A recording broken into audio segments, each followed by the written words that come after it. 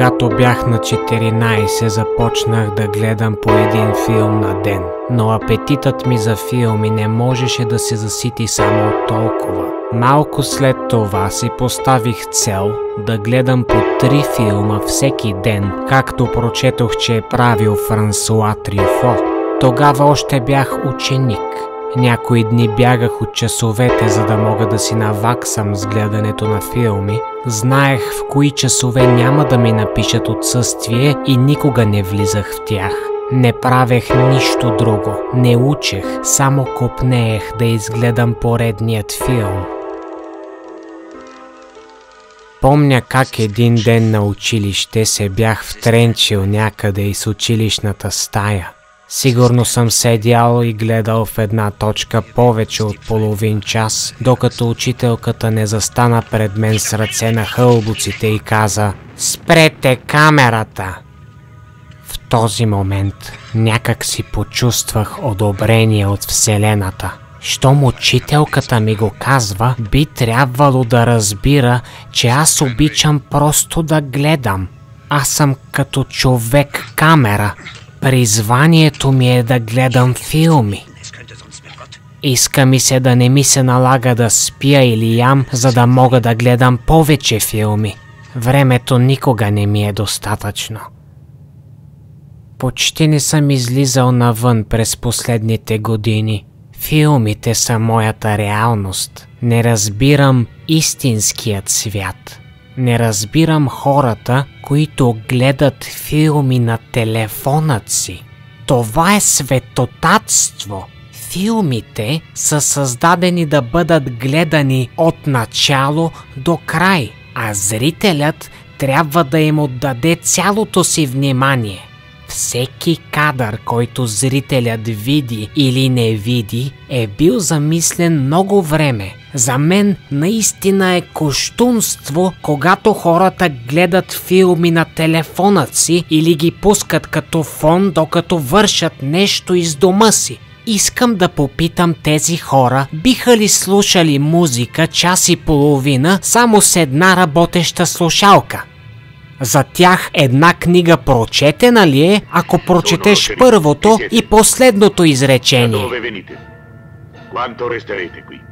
За да кажеш, че си гледал един филм, означава да си седнал пред екранът и да си гледал право в него през цялото време, без да си гледаш телефона, без да вършиш нещо странично. А иначе не обичам да ходя и на кино. Или не това, което киното представлява в днешно време. Там винаги е пълно с хора, които си гледат телефоните, хора, които хрупат пуканки и се чуват из цялото кино, които не могат да спрат да говорят, хора, които постоянно влизат и излизат от залата. Не разбирам хората наистина толкова ли им е трудно да се отдадат на един филм за няколко часа? За да гледаш един филм, трябва да отдадеш цялото си същество на филма. Очите ти, вперени във филма. Когато бях ученик, имаше едно произведение, което ми остави силно впечатление. То беше сложено в учебника – така, между другото, не помня дали въобще сме го чели в час или просто е било за домашно да бъде прочетено без повече дискусия. Тогава не го разбрах напълно. Беше ни представено просто като японският филм на Валери Петров – за мое щастие запомних заглавието и няколко години по-късно дори намерих този японски филм, за който става на въпрос. Голият остров на Кането Шиндо. Филм без никакъв диалог, но в същото време казващ толкова много. А произведението на Валери Петров казва всичко останало – на остров Гол живеят двама и го поливат нощ и ден. Това е филма, друго няма и вие скучаете край мен. Жената хвърлила черпака, се просва в хълцания зли. А вие се смеете в мрака на глупостта, че сте дошли. Защо? Нима сте духом голи, подобно оня остров там. Ако е тъй, то за какво ли се трудиме над вас, не знам. Но на екрана, мълчалива, жената се изправя пак, за да полива своята нива, все тъй, черпак подир черпак. Сега вървете към вратите, шумете, смейте се на глас. До край, додето разцъфтите, ще мъкнем влагата към вас. Вече съм на 28 и в продължение на последните 10 години всеки ден гледам поне по 5 филма. Вече съм изгледал почти всички филми, които бих искал да изгледам. Но има един филм – един единствен филм, който не мога да преживея, че е невъзможно да гледам. Клеопатра от 1917. Всички копия са изгорели при запалването на Фокс през 37 От години издирвам филма и най-накрая имам надежда, че съм близо до намирането му. Мой съученик работи за един от най-влиятелните олигарси в България, който също е и притежател на частна колекция от изгубени и трудни за намиране филми.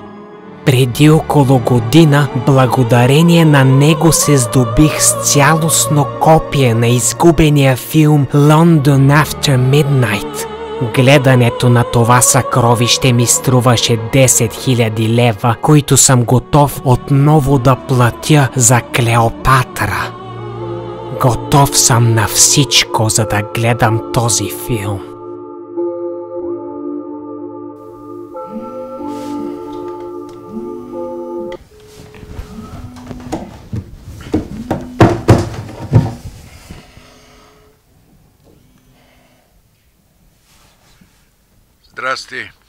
Извинявай, че така по никое време, но да ти кажа, че те изпратих пари. Благодаря. Как си? Добре. Всичко наред ли? е? Да. Здрав си, нали? Нямаш оплакване. Да. Радвам се. Виж сега, няколко работника ме напуснаха и имам нужда от помощ. Ще можеш ли да се дойдеш? Не мога да ти помогна. Защо? А престани вече с тези детинщини и се стигни. Нищо детинско не правя. Всичките пари, които ти пращам, са отишли за някакви ексклюзивни филми в интернет. Мислиш, че това за нормално? Абсолютно е нормално. Трите месеца преди това харчех по 20 лева за филми, които ги няма в тези платформи. Сега харча за филми, които... Нормално е.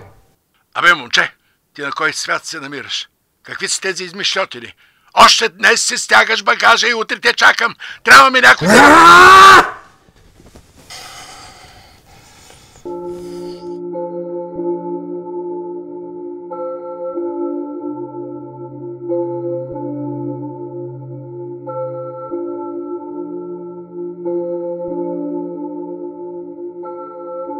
Разбира се, никога не готвя, така ще губя от времето за гледане на филми. Благодарен съм на съдбата, че съм роден във времената на стриминга, в които можеш да гледаш голяма част от филмите, които търсиш за 20-30 лева на месец. Ако бях роден по-рано, щеше да се наложи почти напълно да се откажа от храната. Иначе си нямам и понятие от диетология. Знам само, че китайската храна е хубава и ефтина. 800 грама порция ориз ми стига за цял ден, закуска, обяд и вечеря. Въпреки, че понякога пропускам хранения, всъщност даже и не отивам до кухнята, ако не усетя, че тялото ми вече изнемогва и задължително се нуждае от храна. Но да, Рядко се огаждам, опитвам се да се нахраня винаги с ефтина храна, за да ми останат пари за закупуване на филми.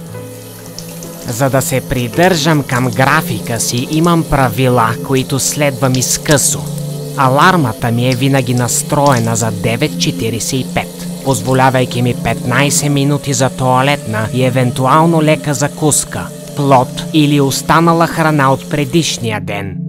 Всяка вечер трябва да съм заспал в 2.00, за да съм бодър на следващия ден. Това ми създава 16-часов прозорец, в който да гледам филми, а филмите, които гледам в определен ден са винаги подбрани специално, за да съм сигурен, че ще успея да изгледам всеки един от тях. Имам си и дни, в които гледам само филми дълги час, най-често няма кино. В такива дни си подбирам по 10 филма на ден. Ако в определен ден гледам по-малко от 5 филма, следващия ден се лишавам от сън, бръснене или ядене, за да мога да изгледам един или два филма, които съм пропуснал предишния ден. Такива дни са рядкост и единствено се случват, ако реша да гледам филми по-дълги от 3 часа. Други глупости, които ми губят от времето за гледане на филми, са избирането на храна, която да поръчам, избиране на филмите, които ще гледам следващия ден и един човек. Сестра ми. Обичам я, но винаги ми изяжда много от времето за гледане с нейните глупости.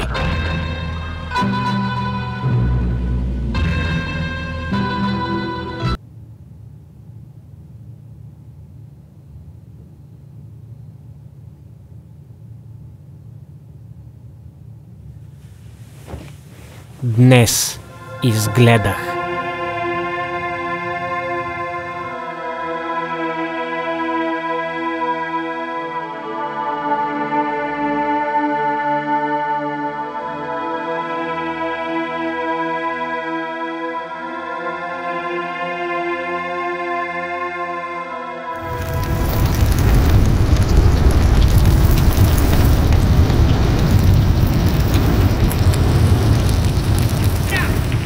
Все се чудя.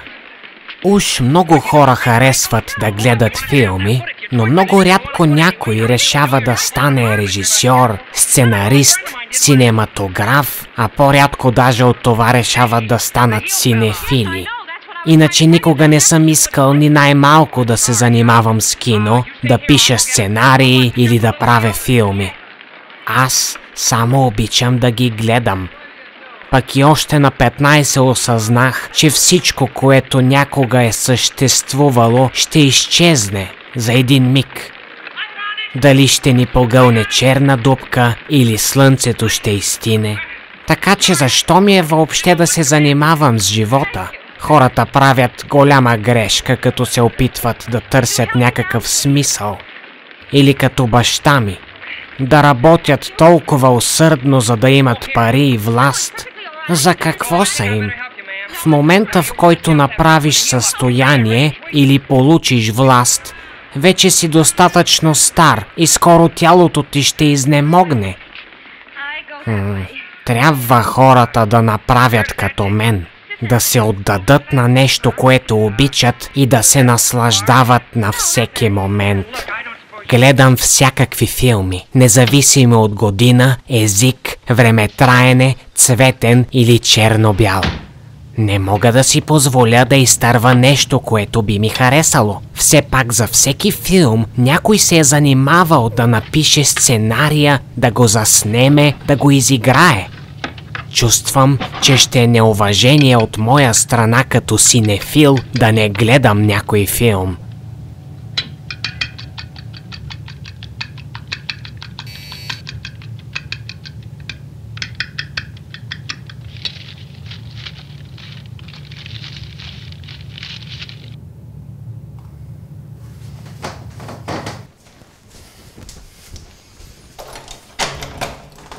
Ехо, Здравей, Лили.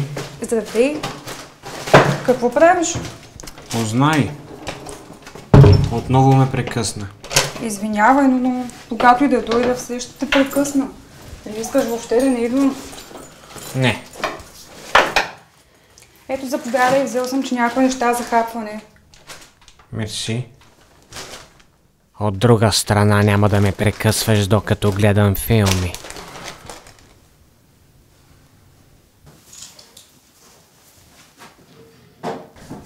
Леле, колко е мръсно. Тогава не си чистил. Не е толкова мръсно.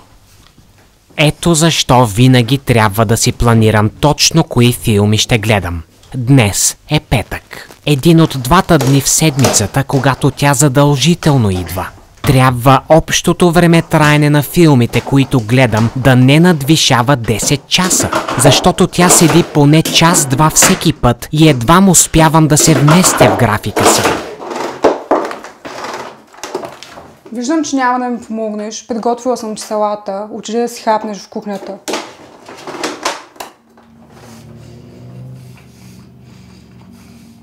Стаята ти е като нова. Благодаря, Лили. Е, какви филми гледаш днес? Ами днес съм изгледал два филма на Винсент Еминели. The Clock и The Bandwagon. Като втория даже е мюзикъл. Мюзикъл. Нали ми каза, че не обичаш мюзикъли? Не е като да обичам едно и да мразя друго. Повечето неща ги усещам по средата, дълбоко, само където моята душа може да усети и да разбере нещо. Но да, мюзикалите не са ми любимия жанр. Докато пътувах насам се замислих за нещо. Какво? Ами ти си на 28 години сега. И ми казваш, че си изгледал почти всички филми, които искаш да гледаш. И казваш, че искаш да гледаш единствено филми до края на живота си. Виж сега, повечето филми, които съм а, гледал, бих искал да изгледам отново. През това време ще излязат още филми, които бих искал, които ще гледам, а може да започна да гледам и сериали. И така винаги ще има какво да гледам. Добре, но защо трябва да гледаш всички тези филми? Казвал си ми, че понякога гледаш 10 филма, от които чак 11 ти харесва. Например, мюзикалите. Все ми казваш как не ги харесваш, но въпреки това продължаваш да ги гледаш. Просто е за мен е по-лесно да изгледам 10 филма подред, които не ми харесват, но да изгледам 11-я, който ще ми хареса. Отколкото за винаги да остана със съмнението, че е имало филм, който би ми харесал, но не съм успял да гледам. Знаеш ли, съм и отдавна си ходил на кино, а, излиза новият филм на Уес Андерсън. Искам да отида да го гледам, но нямам с кого. Ще дойдеш с мен, нали? Не. Не, не, не. Знаеш, че не обичам да ходя на кино. Все ти се чудя. Как толкова обичаш филмите, а не обичаш да ходиш на кино? Казвал съм ти сто пъти, не, не обичам докато гледам няко, някой филм, някой да, да хрупа пуканки, да си цъка на телефона, да ходи до туалетна. Това ме убива. Хайде, моля те, да излезем заедно, само този път.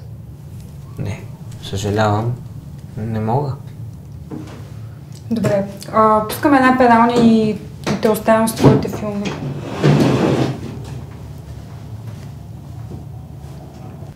Чао. Чао. И да не забравяш да изкараш дрехите от педалнята.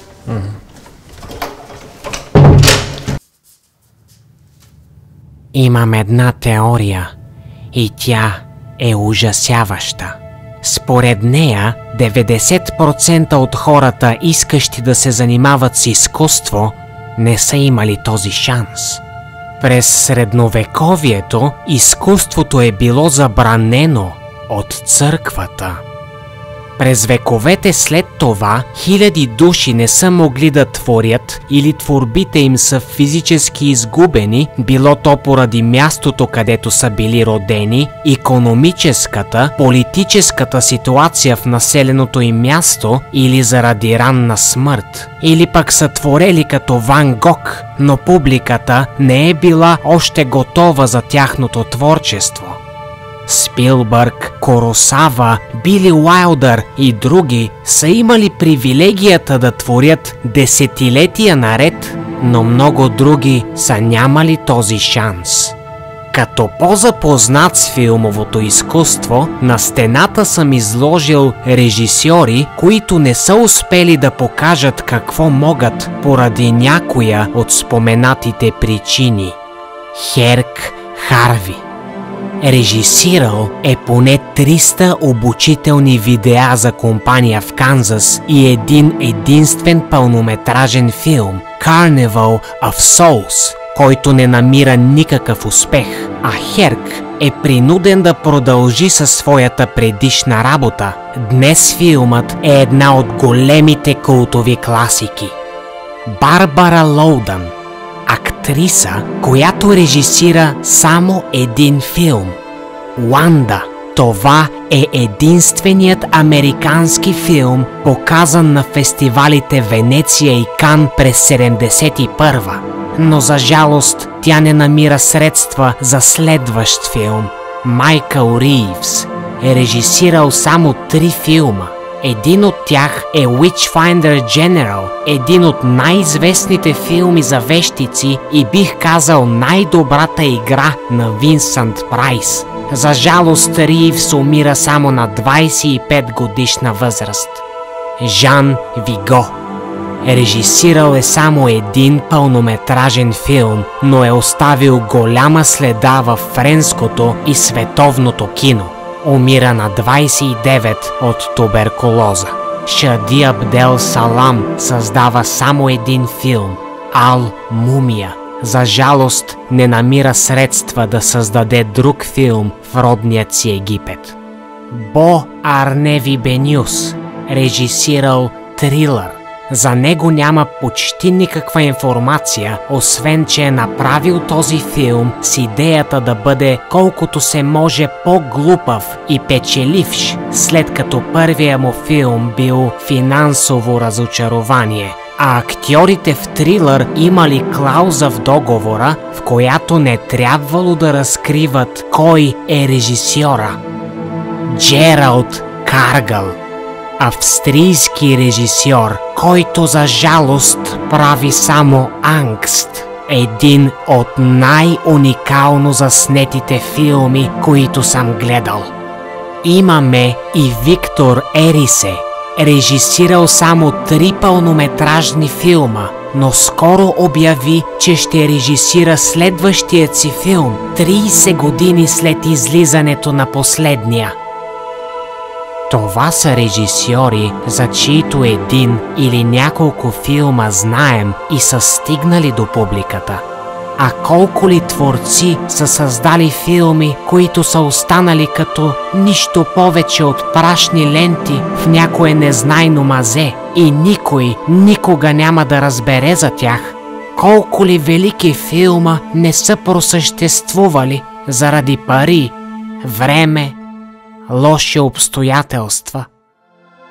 Днес изгледах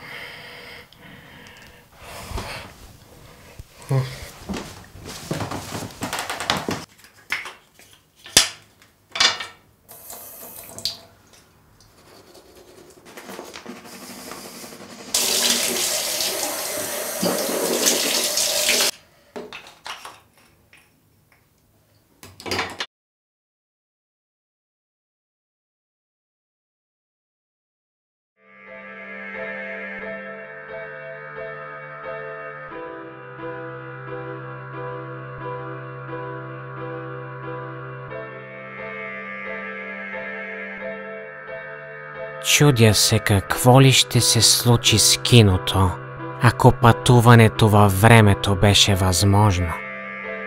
Лично бих се жертвал, за да се запазят всички изгубени филми.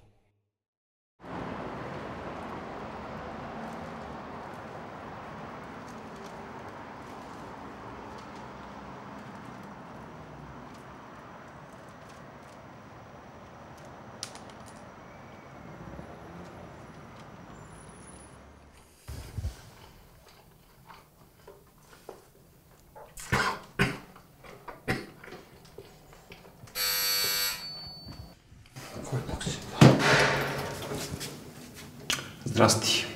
Съседа съм отгоре. Не мога да влеза за малко. Да. Човек, какво става, бе?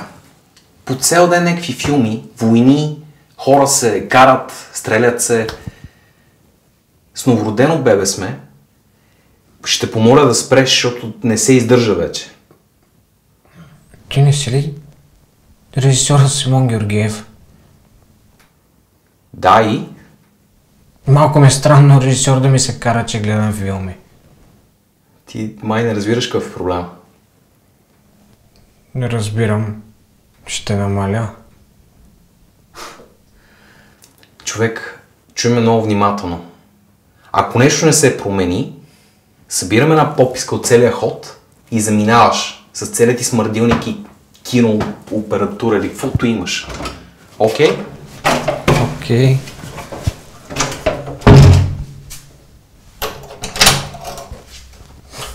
Филмите ти не струват.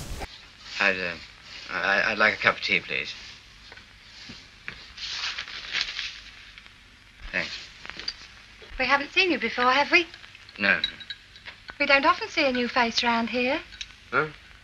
Quite. Except for them. Голямата досада на това да си синефил е това, че всички говорят как обичали филмите. Но не, те са жалки човечета, които гледат филми само повърхностно. Докато изгледат нещо и са го забравили вече. За да твърдиш, че обичаш филмите, трябва да отдаваш цялото си време на тях. Те биха ли се ядосали, ако изпаднем в спор за даден филм? А аз? Аз със сигурност бих. Но това си е мой проблем и ме наричат сноб за това, че изисквам от другите малко повече уважение към тази неповторима форма на изкуството. Just tell him I was looking for him, will you? What name shall I say? Днес изгледах.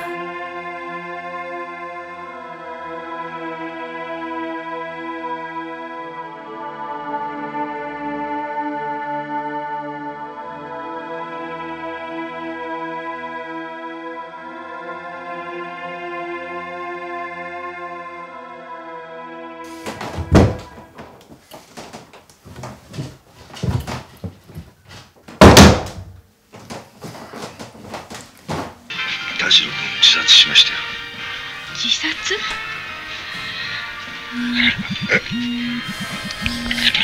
どいつもこいつも Отново ме прекъсват, докато гледам филм.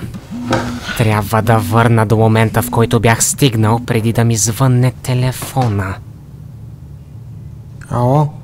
Камера, хвани се за нещо. Ще паднеш. Какво има? Намерихме ти филмът. Клеопатра от 1917. Шефа обаче иска доста повече този път. Ела утре и с един колега ще ти разясним.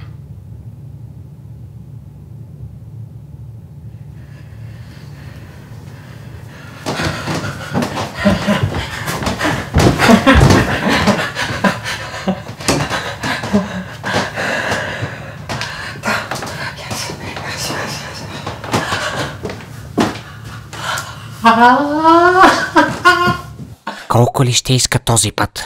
Щом за Лондон After Midnight ми иска 10 хиляди. Предполагам сега ще иска 15-20 хиляди. Колкото и да е.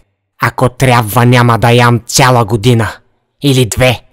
Но ще изгледам този филм. Не съм се чувствал по-щастлив някога. Най-накрая ще гледам най-желаният от мен филм. днес изгледах.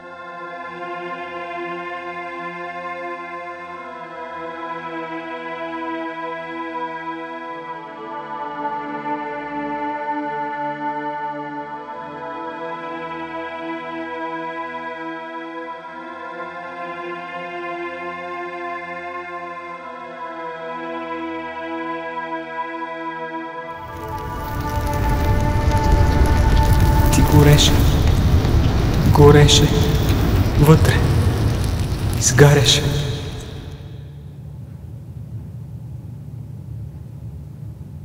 Абе, Станко, гледал ли си филма Колите със светкавицата Макуин? Кое да съм гледал? Коли, филма със светкавицата Макуин. Да, бе, гледал съм. Абе, аз се замислих. Джон Сина и светкавицата Макуин, те са буквално един и същи герой. В смисъл? Еми, Джон Сина започва като млад, самоуверен нагъл хил, нарича се доктор Тагономикс. Млад съм уверен какво? Хил! Това означава гадняк. Аз това са някакви ти от тези твоите не, мати, моля да се спри. Светкавицата му Куин започва по абсолютно същия начин, но накрая и двамата променят индустриите си и стават топ бейби фейс на компаниите. То бейби, какво бейби фейса? Това е, означава пак кетч термин и значи, сеща се, добряк. А те значи, че ако сина и Макуин бъдете станат топ боригаци, те ще спасят света. Макуин, но да речем. Не съм ли прав? А тази стига с твоите глупости, че твой човек е сега ще дойде. Хубаво е.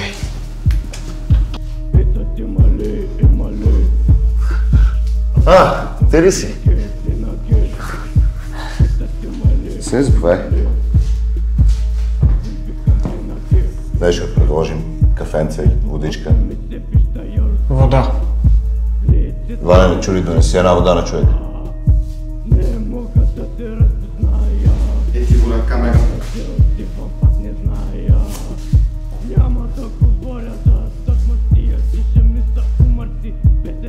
Така, за филма, значи едва го намерихме, но го намерихме, защото знаеш, работя за най-известните и влиятелни хора в Източна Европа, които използват какви ли не връзки, за да се допарат от тези филми.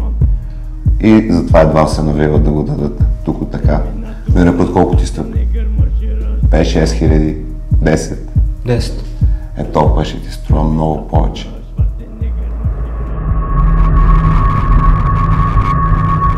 Ако цената те устройва, даваме ти филм. Да. Ако съществуваше филм за всеки човек на Земята, то тогава всички филми щяха да бъдат свързани.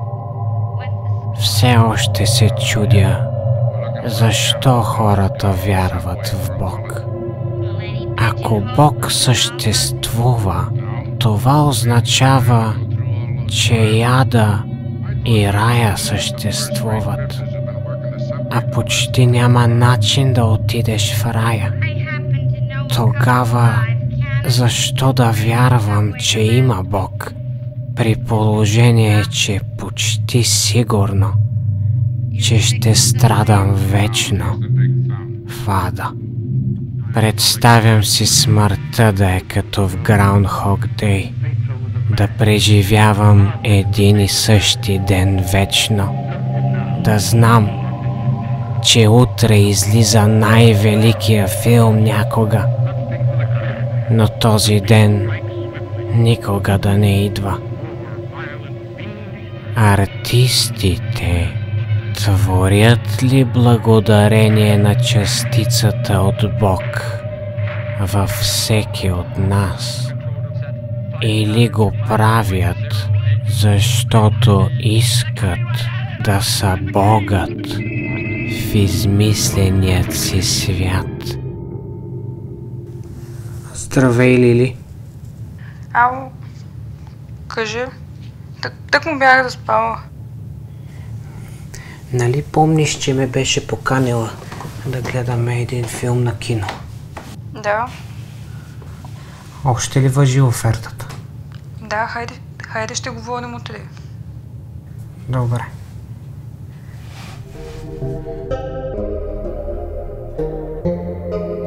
Преди се чувствах самотен, но сега самотата е най-добрият ми приятел.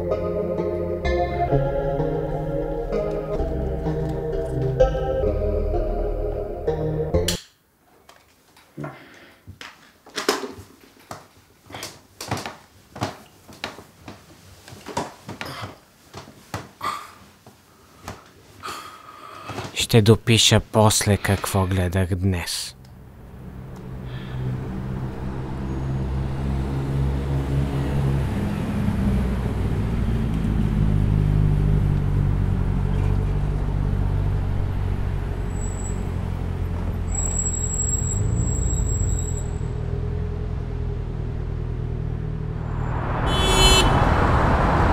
Ужасно е. Шумът, хората, да бъда тук, само ми напомня колко обичам да съм си сам. И все пак си навир. Отдавна не сме правили нещо заедно. Мисля, че ти го дължах. Не бих искал да ме намразиш. Да те намразя, как бих могла? Да, ти си ми брат.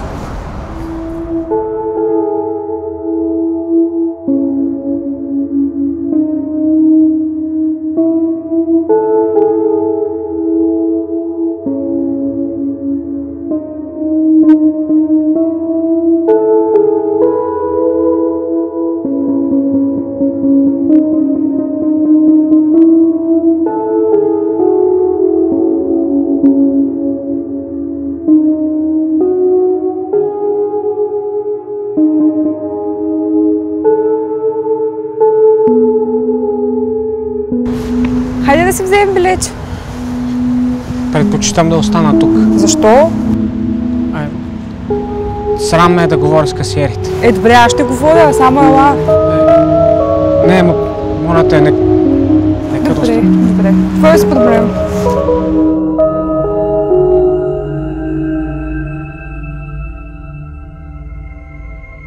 Помня как когато бях по-малък, исках да работя в кино. Мислех си, че това е най-хубавата работа в света. Мислех си, че ще обсъждам филми по цял ден със своите колеги и с готини клиенти. Колко съм бил наивен. Клиентите не се интересуват от никакво кино. За тях съществуват само супергеройските и детските филмчета, изложени на постерите. Филми, на които да оставят децата си, докато те си пият над цененото кафенце в съседното заведение. А колегите да обсъждаме филми. Филмите на Бъргман, Коросава или някой по-съвременен, Тарантино, Скорсезе, а, колко бях наивен. Те даже не знаеха кои филми излъчваме. За тях заглавията на филмите не значеха нищо повече от опция 1, опция 2, опция 3. Тогава още си мислех, че трябва да създаваш запознанства, връзки. Не веднъж ги каних да гледаме филми след работа. Всеки филм на половин цена за работниците. Ей, безплатни да бяха, никой от тях нямаше да дойде да гледаме нещо. Това беше първата и последната работа, която съм работил. Не ми трябваше много време да разбера, че няма никакъв смисъл да създаваш каквито и да е връзки с хората.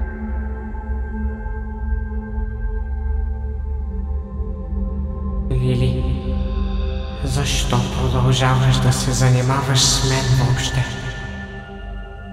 Чувстваш ли, че си длъжна? Нищо не ми дължиш. Трябваше да спреш да се занимаваш с мен отдавна. Съжалявам.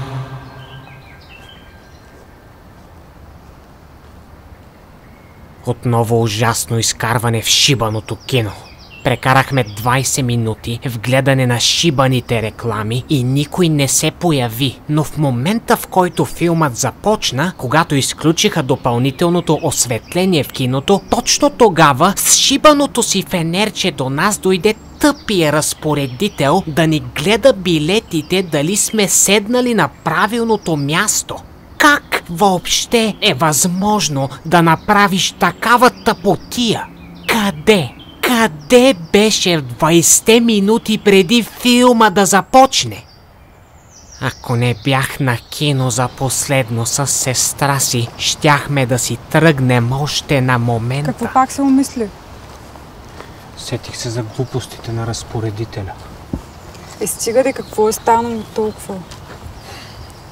Защо не дойде да ни провери по време на рекламите? Къде беше до тогава?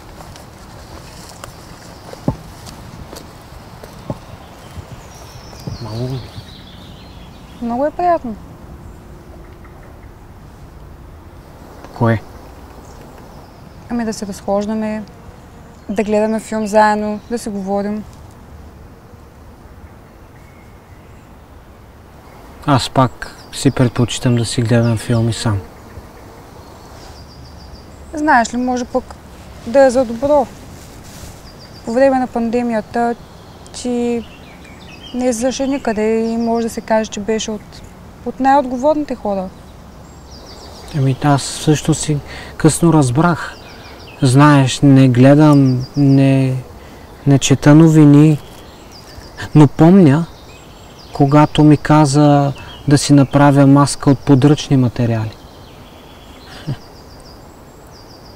До тогава бяха дошли двама-трима доставчици и аз се чудех за какво са им тези маски. Мислех, че ги ползват като шал. За нещата, случващи се по света, разбирам, когато направят Между другото- филм за тях. По време на пандемията и повечето хора не са излизали много и са гледали сериали и филми. Пак не са гледали колкото аз. Мисълта ми беше, че е възможно някой да е открил страстта си към филмите, както беше с теб. Съмняваме.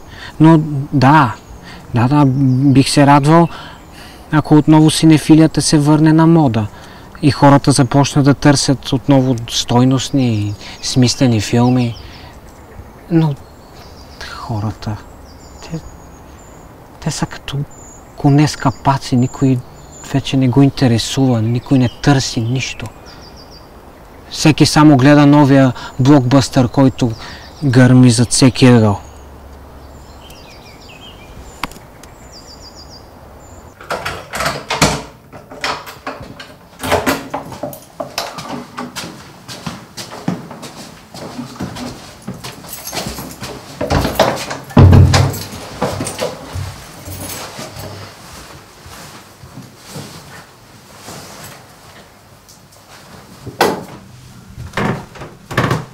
Знаеш ли какво, какво се сетих?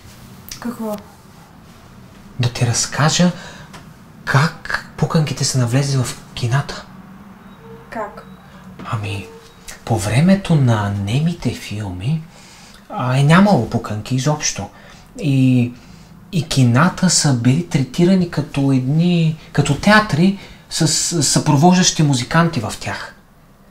Ам, хората са били облечени в а, така скъпи костюми и никой собственик не е искал мърсотия, оставена в киносалона му след някоя прожекция.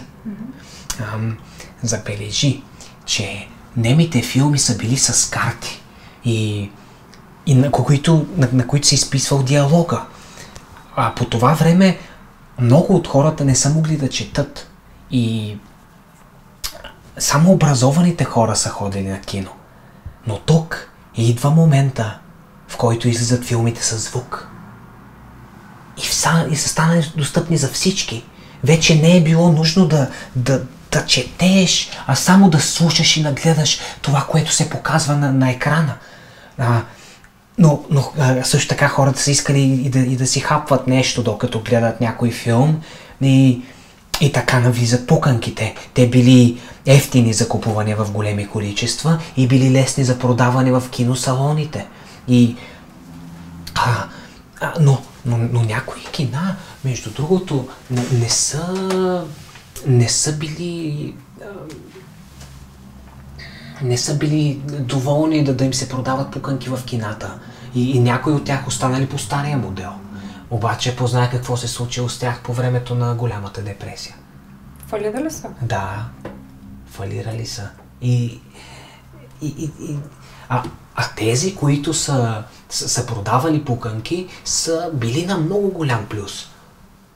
И така всички не искат, са, искат, не искат, просто са тръгнали да, да продават пуканки. Но, но не... И, и това е един от най-големите доходи на едно кино. Е, Интересно. Да, и, а, но това също не, не, не се е случило в, за един-два дни. Това се е случило в период на 10, 12, 15 години. Но да, това е историята за, за навлизането на пуканките. И, и това е това също така е и падението за мен в киното. Беше изморителен дена.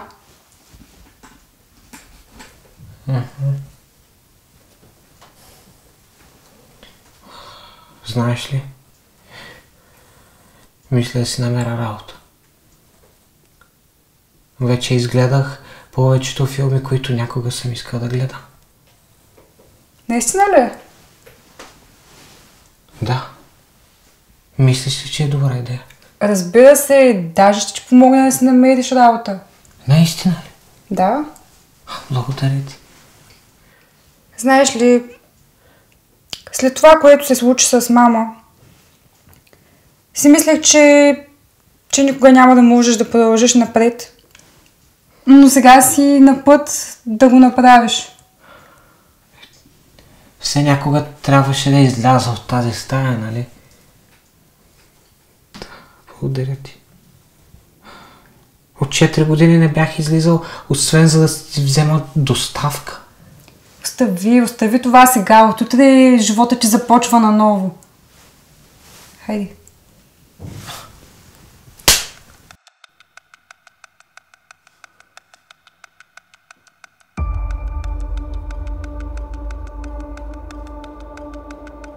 Няма значение какво гледах днес. Утре ще гледам Клеопатра.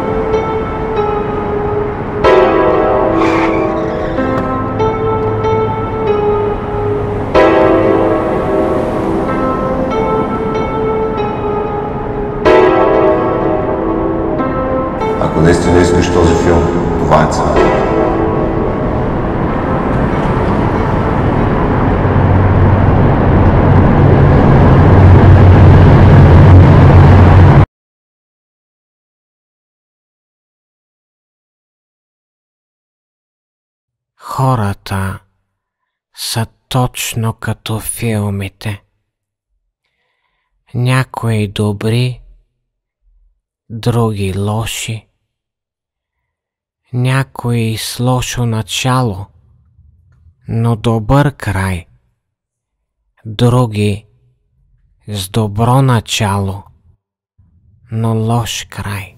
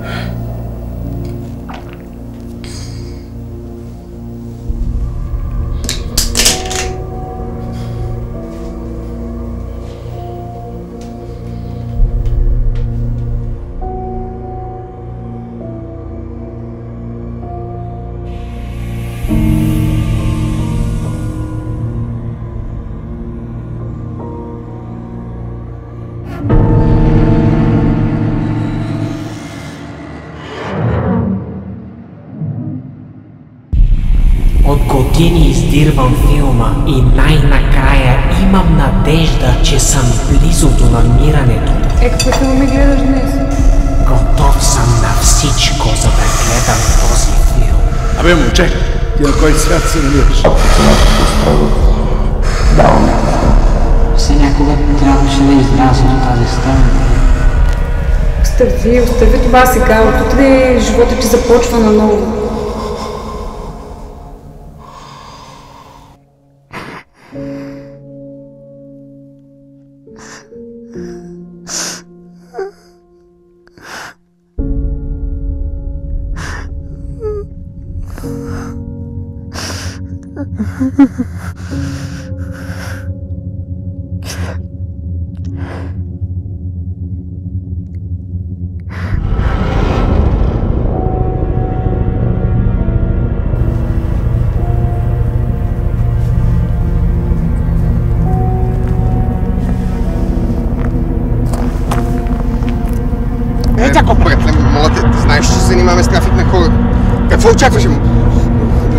Лилия няма, няма